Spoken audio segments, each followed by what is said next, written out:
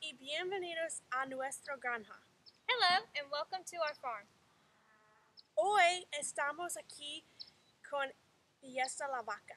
And today we are here with Fiesta the cow. Ella tiene cuatro meses. And she is four months old. Today we wanted to go over some words with you in Spanish and in English.